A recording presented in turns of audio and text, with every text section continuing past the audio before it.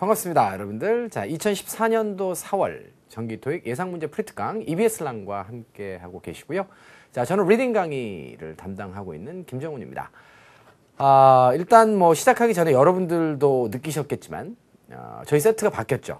예, 저도 뭐 여기가 거의 제2의 집이나 마찬가지인데, 저희 집, 그죠? 예, 내부 인테리어가 이렇게 바뀌니까 기분도 굉장히 새로워지고, 어, 에너지도 또 새로 생기는 것 같아요. 오늘 새롭게 느낀 건데요. 어, 이렇게 분위기만 좀 전환을 좀 해도 사실 refreshing이 좀 되는 것 같습니다. 자, 여러분들도 어, 저희가 어, 돈 들여서 바꾼 거잖아요, 이거 그죠? 예. 자, 이걸로 인해서 약간의 refreshing이 좀 되셔서 학습을 하시는데 좀 도움이 되었으면 좋겠다라고 하는 생각을 가지고 자, 오늘의 일강 강의를 시작해 보도록 하겠습니다. 자, 이번 달 강의도 마찬가지로 다섯 강으로 구성이 되고요. 자, 파트 5하고 6를 자, 한 세트를 다뤄보도록 하겠습니다. 자, 다섯 강으로 나누어서 다룰 거고요. 어, 저희는 비록 이제 한 세트를 풀고 해설을 하겠지만 해설의 양은 음, 좀 다른 그 강의들에 비해서 굉장히 풍부한 편입니다. 그래서 마치 다섯 세트를 해설하는 것처럼 좀 꼼꼼하게 여러분들께 정답의 제시뿐만 아니라 자, 하나의 문제 안에서 변형될 수 있는 것들까지 여러분들께 제시를 다 해드릴게요. 자, 그래서 풍성하게 정보를 드릴 테니까 자, 꼼꼼하게 복습을 잘 하셔서 자, 여러분들이 원하시는 자, 목표를 달성하시기 바랍니다. 어, 무료지만 유료보다 더 나은 강의가 될 수 있도록 자, 노력할 거고요. 자, 그리고 그 이 강의는 아무래도 실전 강의다 보니까 자, 매번 이런 얘기를 하게 되는 것 같아요. 아무래도 기본 개념의 형성 이것이 좀 덜 돼 있는 학생들 같은 경우에는 실전 문제 풀이 강의를 듣고 이해하는데 한계가 있을 수밖에 없어요. 이해가 안 되는 부분이 있을 수밖에 없거든요. 이해가 안 되는 부분이 있다는 건 뭘 의미할까요? 그 비효율을 의미하는 거죠. 시간은 쓰고 강의를 들었는데 못 알아듣는 부분이 있어서 앞으로 적용도 못하고 이렇게 되는 거니까. 자, 그런 경우에는 어, 문제풀이 강의를 아직 들을 만한 그런 어, 여건이 아직 그 마련되지 않은 그런 상황이라고 보고요. 예, 그렇게 되면 어, EBS 낭 안에 여러분들 뭐 100% 환급 과정을 비롯해서 예, 많은 과정들이 있습니다. 기초 과정들이 있으니까 뭐 제가 한 것도 있고 다른 선생님들이 한 것도 있는데 대표적으로 이제 토목달 같은 경우는 100% 현금 환급도 되잖아요. 자, 그러니까 자, 그런 프로그램들을 통해서 여러분들이 부족한 부분들을 보완하시고 자, 이 실전 문제 풀이 강의를 보시는 것이 더욱더 효율적이라는 그런 생각이 들어요. 어, 열심히 하는 거 중요한데요. 자, 문제는 얼마나 효율 있게 자, 학습을 하느냐도 굉장히 중요합니다. 그 효율이라는 측면에 있어서 자, 문제풀이 강의를 들으시려면 자, 기본기가 어느 정도 성립돼 있어야 된다라는 점 잊지 않으셨으면 좋겠고요. 자, 오늘 다시 한번 백그라운드가 이렇게 바뀐 만큼 자, 프레시한 기분으로 가보도록 하겠습니다. 사람은요, 희망과 그리움을 먹고 산대요. 어린 나이에는 뭐 그리움은 별로 없으되 앞으로의 희망을 먹고 살겠죠. 나이가 점점 들어가면서 밸런스가 맞아지다가 점점 나이를 먹으면 이제 그림을 먹고 산대요. 자, 여러분들도 자, 지금 희망을 먹고 사는 그런 에, 대부분들의 학생들이겠죠. 지금 이 강의를 보시는 분들이 자, 강의를 통해서 자, 희망의 끈들을 자, 발견하실 수 있기를 바라면서 자, 자리 옮겨서 자, 본격적으로 강의를 시작해 보도록 하겠습니다. 준비되셨죠?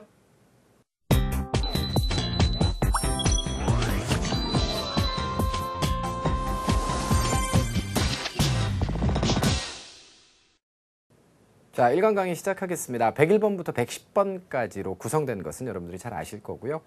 어, 지금 이제 4월 달이기 때문에 이제 중간고사도 있고 조금 좀 힘드시겠죠? 아, 그럴 때일수록 더 정신을 바짝 차리고 자, 매사에 여러분들이 집중력을 가지고 어, 임하실 필요가 있다라는 생각이 들어요. 그러니까 이 강의도 다른 달에 비해서 조금 더 집중력을 잘 가지고 여러분들이 들어주셨으면 좋겠고요. 자, 그리고 그 강의 들으시고 이제 여러분들의 피드백 있잖아요. 예. 이게 사실은 아주 쏠쏠하게 저는 재밌습니다. 태우 선생님도 그러실 거예요. 그래서 저희가 이제 그 피드백을 보고 어, 힘도 좀 많이 얻고요. 그다음에 여러분들이 좋은 사항이 있으시면 또 반영해 드릴 수도 있을 것 같아요. 그러니까 자, 언제든지 자, 여러분들의 피드백을 좀 많이 많이 좀 주시면 아, 저희에게 힘이 되겠다라고 하는 말씀도 드려봅니다. 자, 구조문법 어휘 중에서 101번부터 110번까지는 주로 자, 구조의 문제들이 많이 출제가 되고 구조의 문제들도 뭐 난이도가 있는 것들도 있고 어, 낮은 것들도 있지만 주로 이제 아주 단순한 구조 문제가 출제가 됩니다. 자, 그렇다라고 해서 100% 단순하다라고 단정할 수는 없지만 자, 자, 추세 자체가 1번부터 10번까지는 난이도가 좀 낮은 편이니까 자, 그런 점들을 감안해서 풀어보시면 여러분들이 문제풀이의 속도 조절을 하는데 자, 나름대로 도움이 되지 않을까라는 생각이 들어요. 자, 그럼 구체적으로 101번부터 들어가 보도록 할까요? 자, 101번 문제 ABCD의 선택지를 보니까 어때요? 항상 하는 얘기죠. 자, 이거부터 읽지 말고 선택지부터 보세요. 자, 그러면 A번부터 D번까지 품사가 서로 같질 않습니다. 자, 그러면 근본적으로 자, 빈칸에는 어떤 품사가 들어가는 게 좋을까요? 여러분들 if가 지금 우리에게 보여주고 있는 것, head가 우리에게 보여주고 있는 정보를 딱 종합하면 접속사 이하에는 주어 동사의 절이 오던가 아니면 분사 구문이 올 수 있는 것인데 동사가 이미 구성이 돼 있으니까 had embezzled로 자 여기는 주어 자리가 되겠고요. 자 주어 자리 같은 경우에는 이제 명사가 들어갈 수가 있겠죠. 그럼 명사 역할 못하는 애가 누가 있나요? 없어요. 여기는 지금 다 명사입니다. 그런데 셀프는 일단 기본적으로 안 되는 거 아시죠? 셀프는 제귀 대명사이기 때문에 명사 자리에 들어가는데 쟤는 주어 자리에 나왔던 아이가 다시 반복해서 다시 다시 제자를 쓰기 때문에 자 쓰이는 자리 혹은 부사 자리에만 강조를 하기 위해서 들어가는 그런 용법을 가지고 있는 아이죠. 그렇기 때문에 얘는 이름은 제귀 대명사라고 붙어 있으나 제귀라고 하는 그 용어를 정확하게 이해하시면 합리적으로 판단하실 수 있어요. 주어 자리에 못 들어갑니다. 이게 반복될 때 쓰는 거거든요. 혹은 부사 자리. 그래서 먼저 지우고요. 그 다음에 요 녀석을 여러분들은 her에서는 조심하셔야 되는데 her는 그녀의라고 하는 형용사도 되고 그녀를이라고 하는 명사인데 목적격이죠.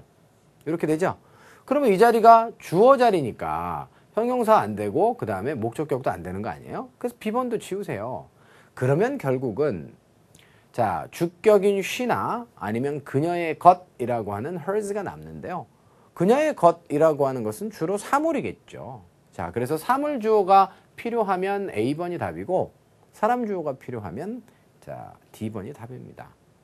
자, 그러면 이제 한번 해볼까요? 자, money를 갖다가 embezzled 한 것은 그녀의 것일까요? 그녀일까요? embezzle이라고 하는 단어를 잘 모르시더라도 돈을 갖다가 어찌고 저찌고 했다라고 하면 그것은 사람이 한 행위로 여러분들이 보시는 게 맞겠죠. 그래서 embezzled라고 하는 단어를 잘 모르시더라도 정답은 D번에다 쓰시는 것이 맞습니다. 자, 요 그 소유대명사라고 하죠. 우리가 소위 말해서 소유대명사라고 하는 아이는 본질 자체가 어, 소유격, 그죠? 플러스 어떤 명사를 합쳐놓은 거예요. 그래서 누구누구의 것이라고 하는 뜻이기 때문에 쟤는 주로 사물을 가리키고 특징은 주격과 목적격에 구분이 없어요. 그러니까 주어 자리에 들어가도 좋고 보호 자리에도 들어가고 목적어 자리에도 들어가고 전치사 이하에도 들어가고 명사가 들어갈 수 있는 자리는 다 들어가는 거죠. 자, 일반적인 인칭 대명사와는 달리 격의 구분이 없기 때문에 자리로만 따지면 주어 자리에도 얼마든지 들어갈 수 있는 것입니다. 하지만 의미상 자, 사물 명사가 필요한 상황은 아니었기 때문에 정답은 D번으로 정리하시면 되겠어요. 이해되셨죠? 자, 그러면 문제에 대한 해설은 이 정도로 마무리를 지어보도록 하겠습니다. 자, 그럼 해석 한번 해볼까요? 해석의 과정 속에서 자, 추가 설명들이 이제 나올 거예요. 자, 보시면 Winters라고 하는 사람이 decline 했다 이렇게 돼 있죠. decline이라고 하는 단어 별표 3개 드리겠습니다. decline은 스펠이 똑같은데 두 개의 다른 단어예요. 완전히. 그래서 decline 1번, decline 2번 이렇게 되죠. decline 1번은 당연히 여러분들 감소의 뜻입니다.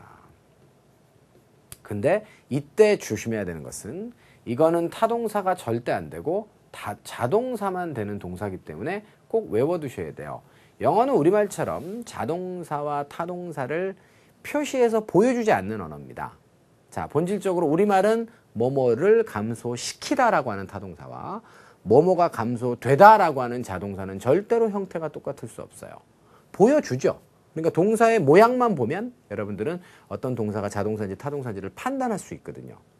자, 그런데 영어는 그거 보여주지 않아요. 그래서 어, 개념은 감소인데 이 녀석이 자동사냐 타동사냐를 판단할 때 일반적으로 여러분들 둘 다 다 되는 것으로 그냥 아시면 돼요. 그런데 만약에 둘 중에 하나만을 고수하는 동사이거나 시험에 자주 나오는 단어들은 어떻게 해야 돼요? 우리는 비원어민이기 때문에 그런 자타 동사에 대한 느낌과 감을 10여 년 이상 반복해서 쓰면서 자동으로 습득한 원어민들과는 접근 방식이 똑같을 수 없다고요. 자, 그래서 여러분들은 필요한 단어는 암기를 하셔야겠고, 자, 그 중에서 가장 대표적으로 중요한 단어가 바로 decline이 되겠습니다. 참고로 자 명사로 감소의 뜻도 여러분들 자 그냥 decline으로 써요. 그러니까 동사 명사 동일형인 거죠.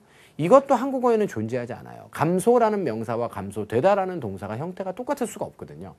영어는 그래서 모든 것을 배열로 보여주는 언어이지 자 이것은 우리말과는 달라요. 우리말처럼 표시해서 보여주지 않습니다.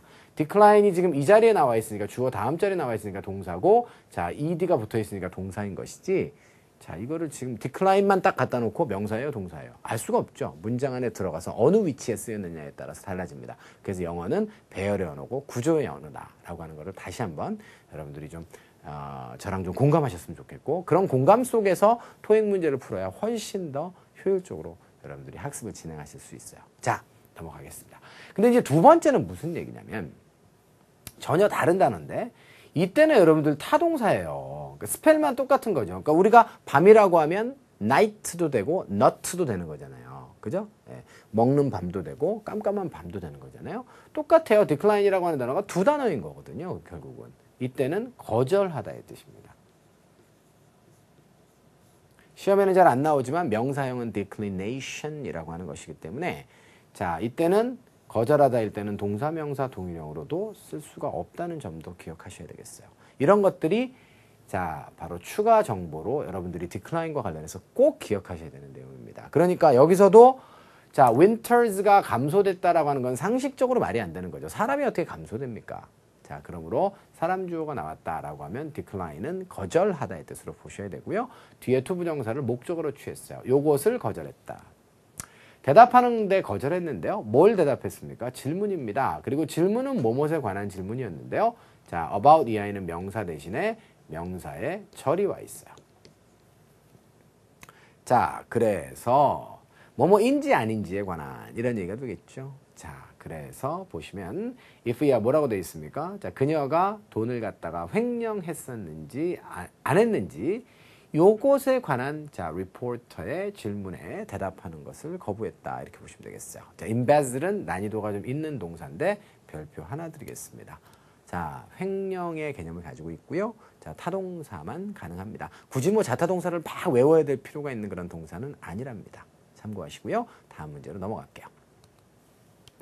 두 번째 문제를 보시면 A, B, C, D는 모두 부사고요. 뜻이 달라요. finely는 일단 무슨 생각이 들죠? 아 멋지게 그런 뜻이 있겠죠. fine이 훌륭한의 뜻이 있으니까. 그런데 여러분들 fine이라고 하는 것은 그 fine이라고 하는 단어는 순수한의 뜻도 있고요.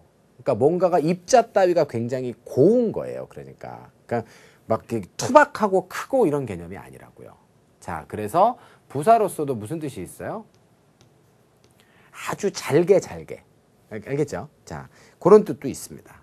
자, 그래서 그 정도의 의미까지 여러분들 알아두시면 되겠고요. 어, 뭐, finely chopped, 뭐, vegetables. 이렇게 얘기하면 어떻게 되는 거예요? 잘게 chopped. chop이라고 하는 건 이렇게 그 우리가 요리할 때 잘게 써는 거죠. 네, 그래서 잘게 썰어진 자, 그런 야채들. 뭐 이런 예문들을 머릿속에 떠올려 보시면 되겠어요. 그래서 그런 두 가지 의미를 여러분들 기억해 두시면 좋겠고요. 뭐 잘게 정교하게 이런 뜻입니다. only는 넘어가고 lively는 조심하셔야 돼요. lively는 ly가 붙었기 때문에 여러분들이 부사라고 생각하기가 굉장히 쉽잖아요. 예. 그리고 live 자체가 원래 형용사잖아요. 살아있는 그죠? 혹은 생방송의 그런 뜻이잖아요. 음. 그런데 신기하게도 lively도 자 형용사입니다. 아시겠죠? 네. 생동감 있는이라고 하는 그런 의미가 되겠어요.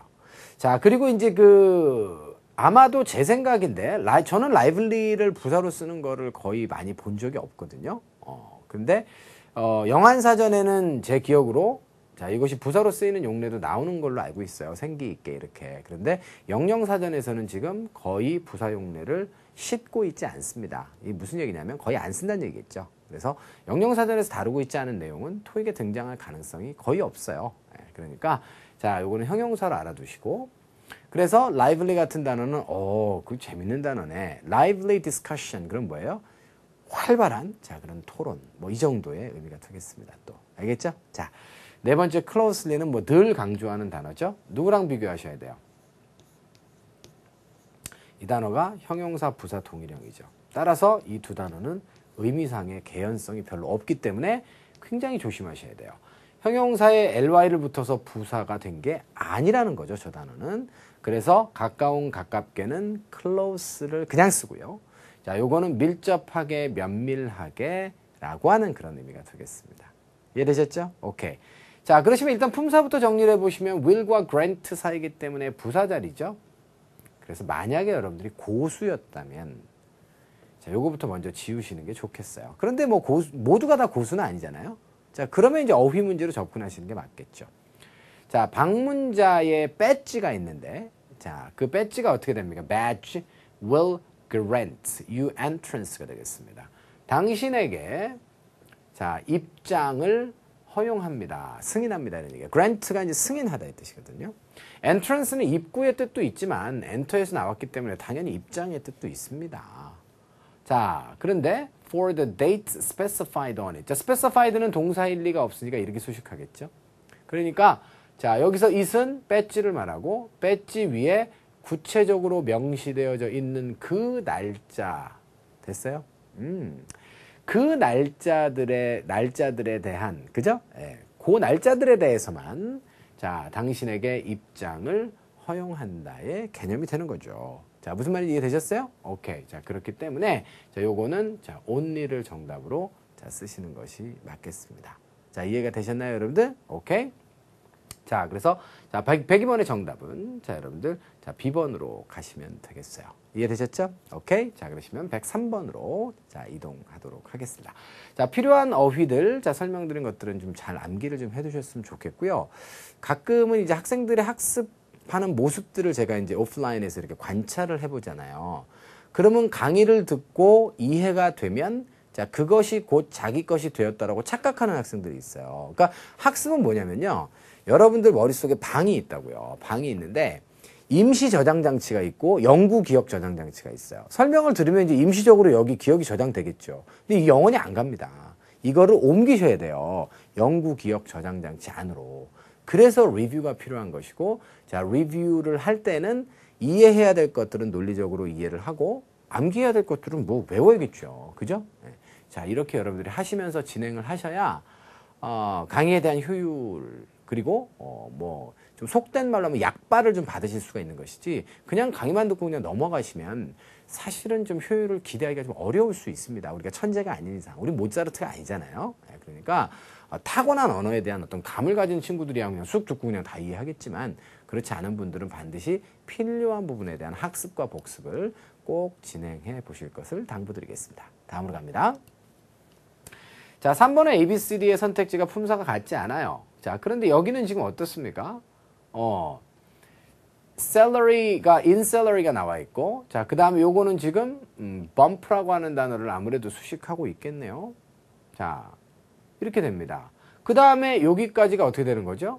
어, 부사예요. 저쪽 앞쪽이. 그러면 자, 전치사 플러스 명사, 전치사 플러스 명사인데 가만 있어 봐. his가 나왔으니까 이거는 뒤에 지금 명사가 나와야 되고 그렇다라고 하면 주어고 얘는 동사란 얘기인데 두 가지의 단서가 보이는군요. 타동사인데 뒤에 목적어가 없다는 점 하나와 자, 그 다음에 두 번째 여기에는 그렇다면 뭐, 뭐라고요? 이 절은 무슨 절이라고요? 목적어가 없으면 명사가 없는 거죠? 왜 없어졌어요, 명사가? 바로 이 녀석과 중복되기 때문에 없어진 거란 말이에요. 맞죠? 혹은 뭐 앞쪽에 이 녀석 전체가 다 선행사가 될 수도 있겠습니다만 자, 아무튼 간에 앞쪽에 명사와 중복되는 게 있으니까 없어졌을 거란 말이에요.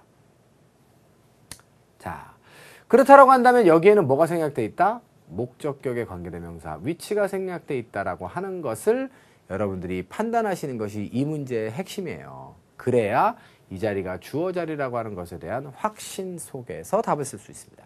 주어 자리에는 어떤 품사가 들어가죠? 명사가 들어갑니다. 따라서 당연히 정답은 C번이고요. 자, 프로모션이라고 하는 것은 뭐 사람과 관련됐을 때는 승진일 거고요. 자, 그 다음에 두 번째는 무슨 뜻이 있나요? 승진 말고? 그렇죠. 증진, 촉진의 뜻도 있죠. 자, 특히 촉진 중에서 판매 촉진, 판촉을 우리가 또 프로모션이라고 합니다. 여기서는 1번의 뜻으로 쓰였을 거예요. 자, 거기까지 가겠습니다. 이해되셨죠? 오케이? 자, 그러시면 정답은 지금 나왔고요. 자, 그러면 이제 추가적으로 해석을 해 가면서 필요한 사항을 설명드리겠습니다. 자, thanks to의 밑줄 별표 because of thanks to owing to, due to 전부 다 때문에 이런 뜻이죠. 범프 때문에 이렇게 되어 있습니다. 자, 범프라고 하는 말이 무슨 뜻이죠? 어, 범프는 원래 쿵 부딪히다의 뜻이에요. 동사로. 명사로는 부딪힘의 뜻이 되겠습니다.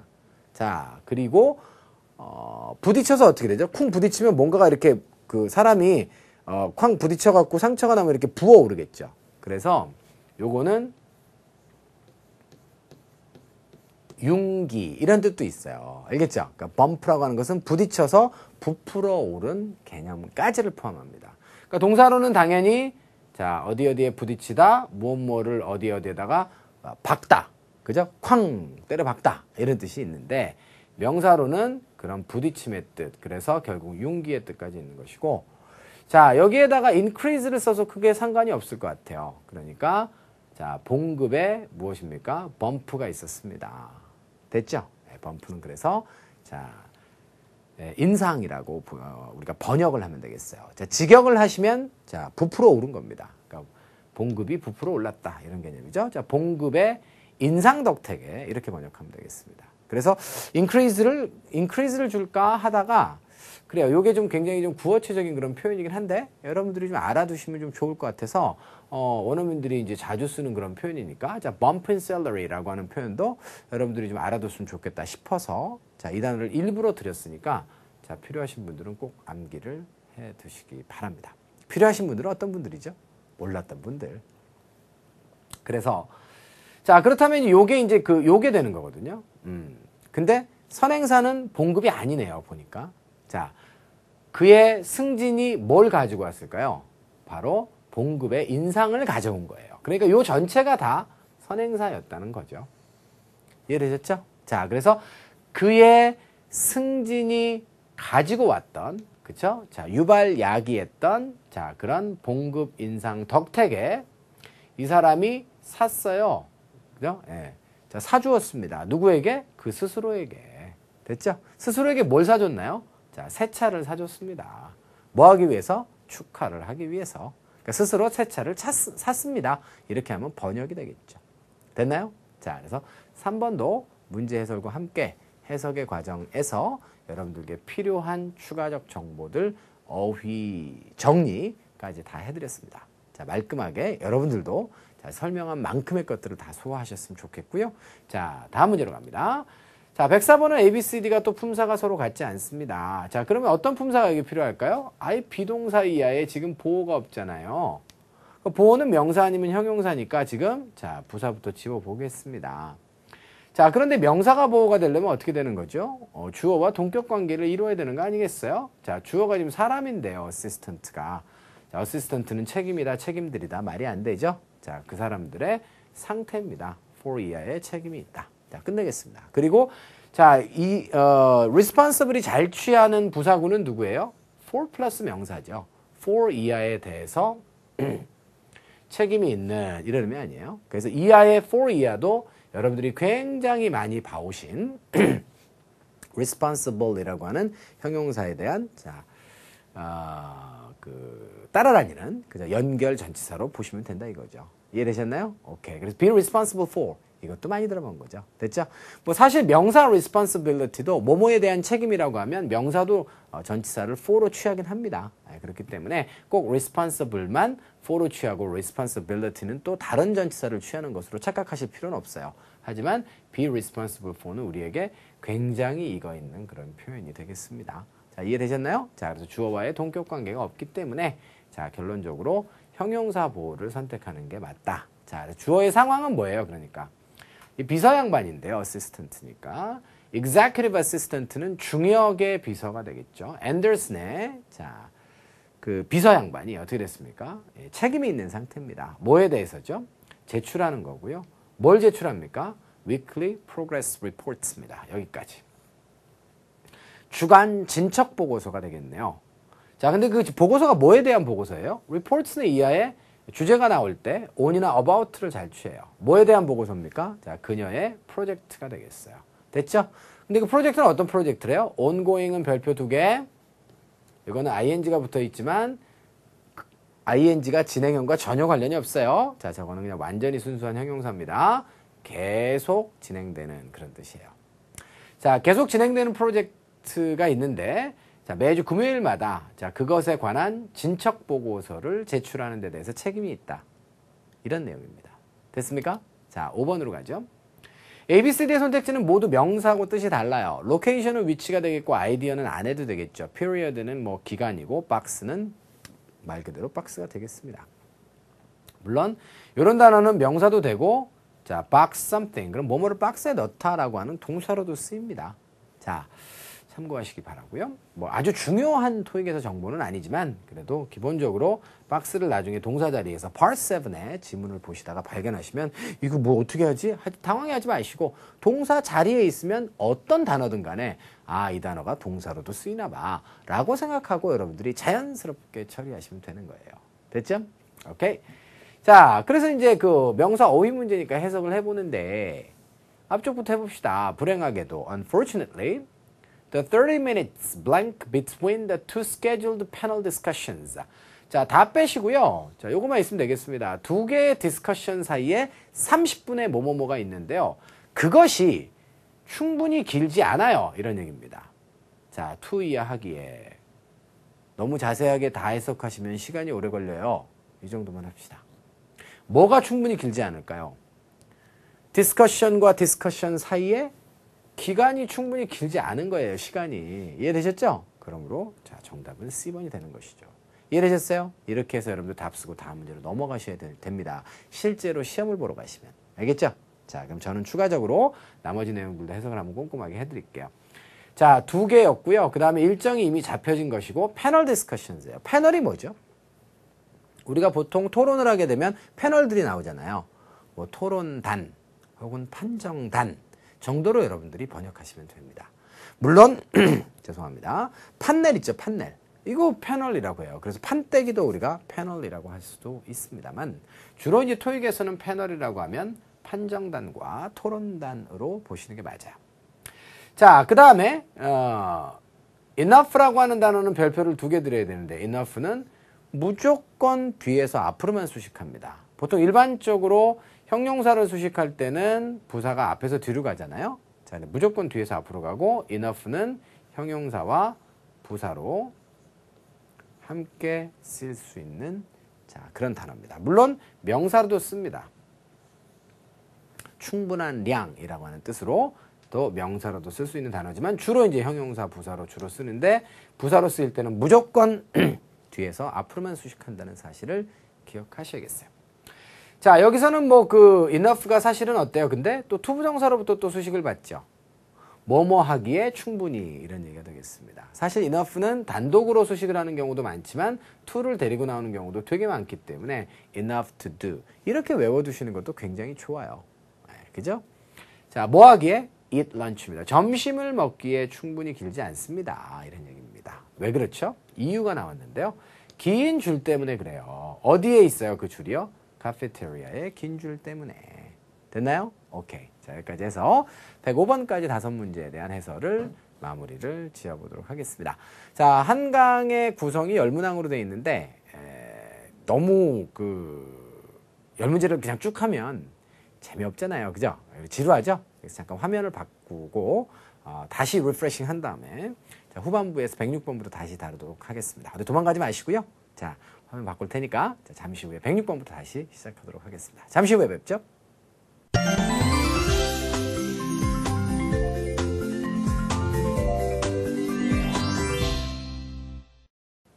자, 106번부터 남아있는 다섯 문제 자, 가지고 후반부 강의 해보도록 하겠습니다. 이제 감을 좀 찾으셨죠? 네. 자, 그러시면 바로 문제로 들어가서 시작해 볼게요. 자, 106번 문제 같은 경우에는 ABCD의 선택지를 보니까 서로 품사가 같지 않다는 걸 발견하게 되고 따라서 여러분들은 품사 문제로 판단을 하면서 전치사 다음에 명사를 발견했다면 앞에는 형용사가 필요하니까 선택지 중에 자, 선, 어, 형용사를 답으로 찾아서 고르면 끝. 알죠, 여러분들? 네, 그거예요. 그러니까 자, 그런데 이제 문제가 한 가지가 생겼습니다. 뭐가 생겼냐면 그래서 영어가 이제 문제인 건데 이거는 명사죠. 그러니까 일단 배제하시고 자, 요거는 ED형이니까 어, 형용사 역할을 할 수가 있어요, 지금. 근데 그렇게 보면 얘를 여러분들이 secure를 뭘로 보겠어요? 그러면 동사로 볼 수밖에 없는 거죠. 왜냐면 ed가 붙어 있으니까. 그 영어는요. 자, 특히 이제 토익이 이제 그런 것들을 이제 다루게 되는데 굉장히 본질을 잘 다루는 것 같아요. 제가 보기에는. 좋은 시험입니다. 왜냐하면 우리말 같은 경우에는 안전한이라고 하는 자, 음, 형용사하고요. 그 다음에 보장하다라고 하는 동사가 형태가 똑같이 생겼을 수가 없잖아요. 안전하게 뭔가를 고정시키다라고 하는 동사가 똑같지 않잖아요, 형태가. 그런데, 아, 미치겠네. 그죠? 어떤 단어들은 동사와 명사 형태가 따로 있는 애들도 있고, 어떤 애들은 이렇게 같이 쓰기도 하고, 일관성이 전혀 없기 때문에 품사 결정이 쉽지 않은 언어가 여, 영어예요, 여러분들. 자, 그래서 이런 것들이 꼭 시험 문제로 출제되기 때문에 우리 학생들 중에 어, 분명히 A번에다 지금 답 쓰고 좋았어. 이런 학생들이 있었을 거예요. 아마 틀림없이. 자, 그런데 그런 학생들은 secure라고 하는 단어를 아직까지 제대로 잘 알지 못하는 학생입니다. 영어는 두 가지 이상의 품사로 사용되는 단어들 중에 특히 토익에 반복 출제되는 자, 선택지로 주어지는 단어들 같은 경우엔 반드시 여러분들이 꿰차고 있어야 돼요. 그래야 실수하지 않습니다. 아시겠죠? 자, 그런 측면에서 보시면 secure라고 하는 단어는 형용사로는 이제 안전한의 이제 뭐 당연히 있을 거고요. 자, 그 다음에 두 번째로 이제 동사로 쓰게 되면 이제 무슨 뜻이 있죠? 안전하게 뭔가를 확보하다의 뜻이 있고요. 그 다음에 안전하게 뭔가를 고정시키다의 뜻도 있어요. 그 두 가지의 뜻을 여러분들이 다 알아두셔야 된다는 거죠. secure와 관련해서는. 그러니까 결국은 secured가 되면 무슨 뜻이에요? 확보된 혹은 동여매어진의 의미를 가지는 형용사고 요거는 무엇입니까? 자, secure라고 하면 안전한 이렇게 되는 거잖아요. 맞죠? 야, 그래 가지고 그래 가지고 이 문제가 여러분들이 아마 자, 요 ed와 요 형용사를 놓고 이제 둘 중에 하나 이제 답을 골라야겠다까지 갔으면 자, 첫 번째 제가 말씀드렸던 관문은 통과하신 거예요. 뭘 통과했다? 얘가 지금 형용사, 그 다음에 자, 동사의 동일형이라는 관문은 통과해서 자, 요 놈까지 이제 발견을 했단 말이에요. 그 전에 이제 사망한 학생들도 물론 있을 겁니다만. 근데 해석을 해보니까 여러분들 A번이 안 되죠. 그러니까 확보된 목적을 위해서, 허허. 당신이 세 개의 그 identifications, 신분과 관련된 그런 질문들의 대답을 정확하게 해야 되거든요. 뭐 하기 전에요?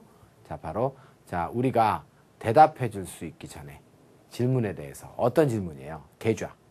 은행이네요. 그래서 계좌와 관련된 질문에 대해서 대답을 해줄 수 있기 이전에 네가 먼저 세 개의 질문에 대해서 대답을 해야 돼. 주민등록번호 좀 대주세요. 본인이시라면 대줘야 된단 말이죠. 맞죠? 이거를 대답을 해야 되는데 그게 확보된 목적을 위해서 그래요? 안 되겠습니다. 그러면 안전한 목적을 위한 겁니까? 이것도 안 되겠습니다, 여러분들. 자, 이거 봐라, 이거 봐라. 자, 요거는 사실은 10번대 안에 들어와 있지만 그래서 난이도가 굉장히 높은 문제예요. 아주 많은 학생들이 저는 틀렸을 것이라 생각합니다. 그러니까 품사적으로 보면 이 녀석과 이 녀석은 얼마든지 지금 들어가도 되는 거거든요, 둘 다 다. 그첫 관문을 잘 통과했는데 두, 두 번째 관문은 뭐냐면 이 형용사와 이 ed, 그러니까 동사에서 변형된 수동의 의미를 가지는 형용사가 어떻게 된다? 그렇죠. 들어가도 의미가 성립이 안 된다는 거예요. 그러니까 아까 전에 자 그렇게 해서 정답을 형용사에다 쓰면 끝이라고 했지만 자, 그것을 잘 피하고 막은 후, 그죠? 예, 마치 아무 일도 없었다는 듯이 의미 점검을 해보고 두 개를 지운 후 복합 명사를 선택해서 정답으로 쓰면 끝. 이게 3차 관문이에요, 여러분들. 그래서 형용사들이 지금 두 개가 지금 형용사 역할을 할 수 있는 아이가 두 개가 나와 있지만 그 아이들이 의미 성립이 안 되기 때문에 자, 궁극적으로 이것은 자, 정답이 D번이고요. secured는 무슨 뜻이에요? 안전의 뜻도 있지만 security 많이 들어봤죠? 네, 보안의 뜻입니다. 보안. 안전하게 지켜주는 거니까. 그래서 보안 목적 때문에 바로 이런 데 대해서 대답을 해야 된다는 이런 이유가 되는 거죠. 무슨 말인지 이해되셨어요? 자, 그래서 106번 문제 같은 시험 문제가 실제로 출연합니다. 형용사들을 보여주고 명사를 보여주는데 일반적으로는 형용사의 정답 확률이 훨씬 높지만 그것을 뚫고 복합명사가 정답이 되는 경우가 있기 때문에 항상 여러분들은 어떻게 하세요? 형용사를 일단 답으로 골라 놓으시고요. 자, 그 다음에 반드시 뭘 해봐요? 의미, 자, 접근을 통해서 자, 내용이 말끔한지를 확인하셔서 정답을 쓰셔야지 그냥 막 쓰고 넘어가시면 안 돼요. 알겠죠? 자, 그래서 이 문제는 자, 복합명사가 정, 최종적으로 정답이 되겠습니다. 너무 쉽게 생각해서 형용사를 답으로 딱 쓰면 안 되는 그런 문제였기 때문에 다시 한번 여러분께 그 점을 강조드리도록 하겠습니다. 자, 실수하지 맙시다. 자, 최근에 토익이 많이 어렵지 않거든요. 어, 실수만 안 하시면 어, 득점할 수 있습니다. 그런데 이제 서두르고 막 이러다 보면 실수를 하게 되는 거니까 문제 풀이의 스텝 반드시 드렸어요. 안 틀리시려면 형용사가 답이 되더라도 한 번쯤은 의미 확인을 해보시는 것이 실수를 막을 수 있는 길이다. 자, 이런 얘기가 되겠습니다. 다음 문제 갈게요. 107번입니다. 107번은 A, B, C, D의 선택지 구성상 어떻게 되겠어요? 품사가 또 다르죠? B 플러스 PP가 와 있네요. 자, 그러면 여긴 누구 자리? 수동태가 이미 구성되어 있으니까 수식어가 들어가야 되고 명사로 수식하는 자리가 아니니까 뭐 동사 자리겠죠. Promptly라고 하는 자, 요 단어는요. 여러분들 선택지로 등장하면 뭐 거의 99% 정답이라고 보시면 됩니다. 그것이 어휘 문제로 출제되던 아니면 지금처럼 어형의 문제로 출제되던 간에 상관이 없어요. 아시겠죠? 그 점도 데이터베이스 입력해 놓으시고요. A번에 여러분들 정답으로 쓰시면 되겠습니다. 자, 그래서 정답은 여기까지로 마무리하고요.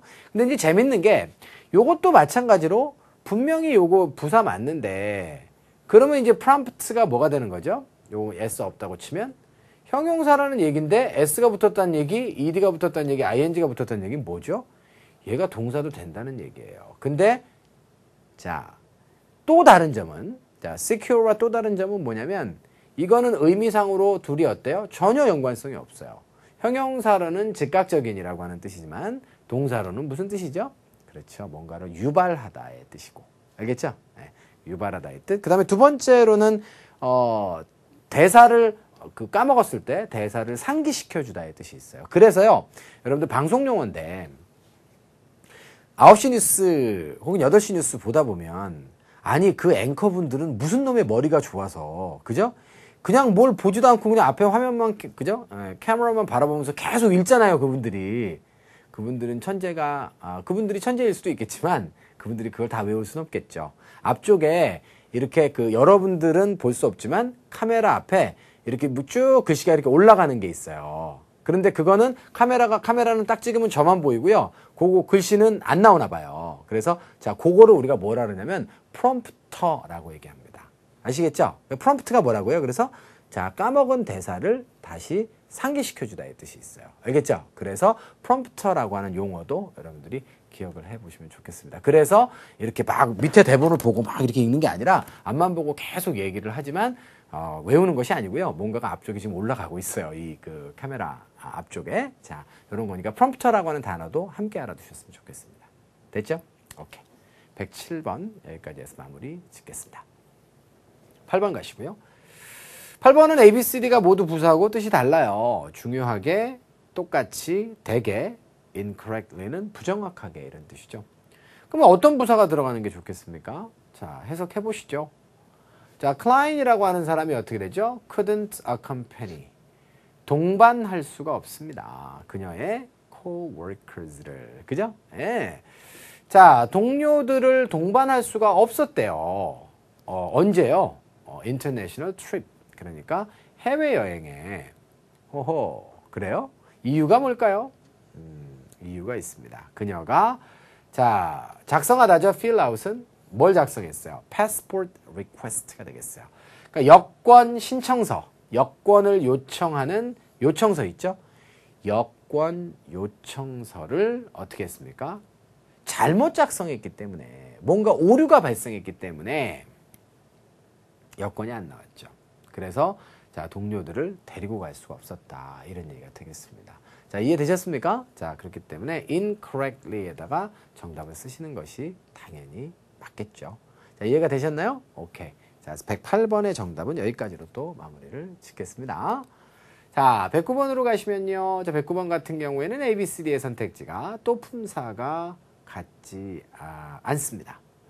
자, 요거 세 개는 뭐 당연히 다 동사인데요. 요거는 이제 동사일 수도 있고, 뭐 소위 말해서 분사일 수도 있는 거죠. 그런데, 자, 딱 보니까 어때요? 아, be able to.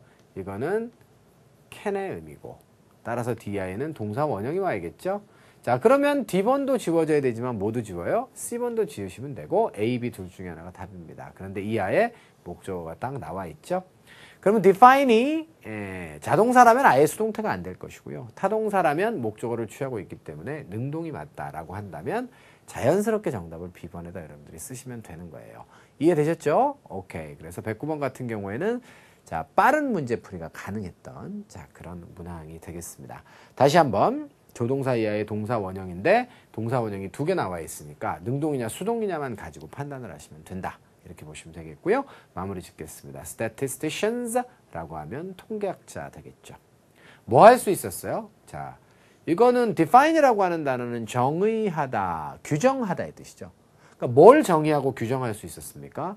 자, 잠재적인 자, 사용이 되겠죠. 뭘 사용하는 거죠?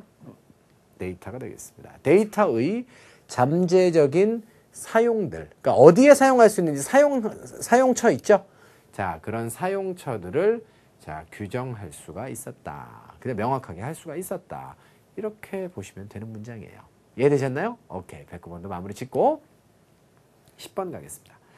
자, 10번은 A, B, C, D의 선택지가 모두가 다 아, 전치사로 구성되어 있어요. 물론 A번의 as는 전치사, 접속사의 동일형입니다.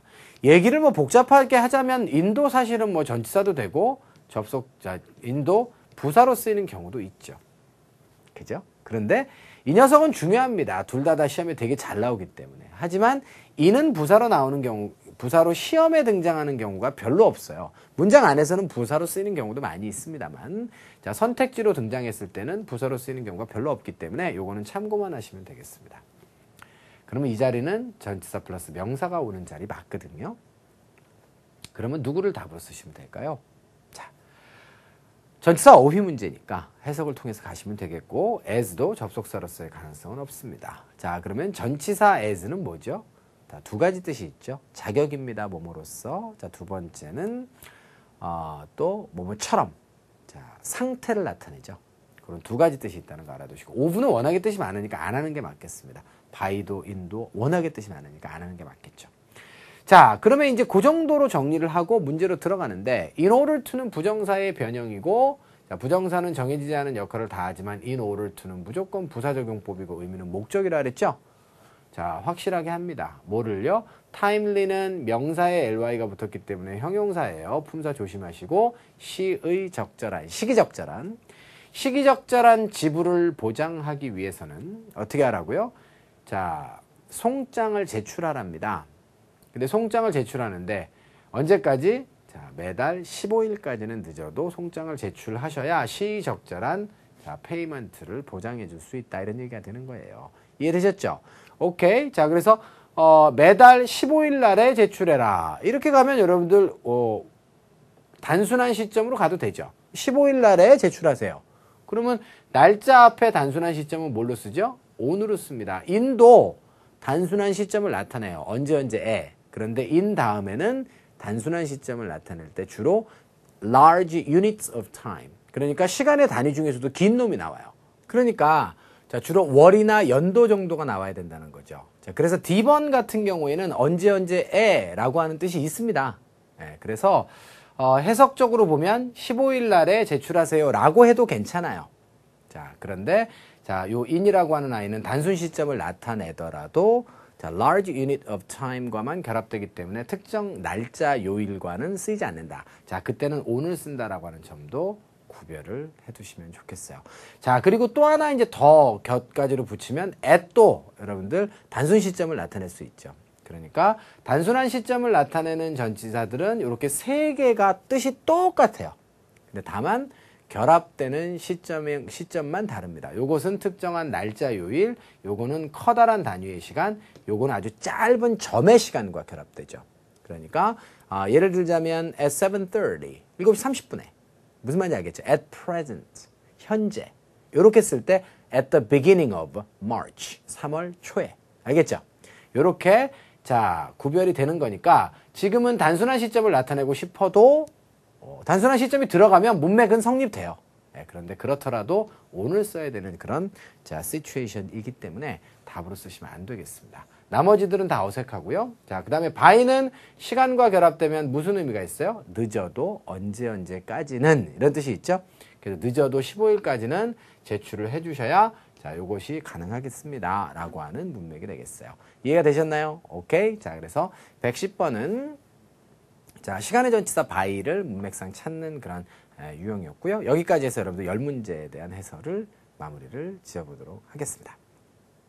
자, 뭐 글쎄요. 그 첫 첫 열 문제 그닥 그렇게 많이 어렵진 않았는데 그 중에서 한 문항이 좀 굉장히 106번 문항이 여러분들께 어, 시사하는 바가 되게 큰 문제예요. 저는 어, 되게 쉬운 문제를 여러분들이 많이 맞춰서 기쁜 것도 되게 좋겠지만 틀려서 내가 약한 부분을 보완하는 것이 훨씬 더 의미 있는 일이라고 생각을 합니다. 그러려고 강의도 듣고 하는 것이지 어, 여러분들 기분 좋게 만들려고만 듣는 건 아니잖아요. 틀린 부분에 대한 보강 잘 하시고 자 필요한 어휘들 잘 암기하시기 바랍니다. 자 그러시면 1강, 1, 강 강의는 여기서 마무리를 짓고요. 자 저는 여러분들과 자 111번부터 시작하는 2강의 강의를 통해서 다시 찾아뵙도록 하겠습니다. 강의 들으시느라 수고하셨습니다.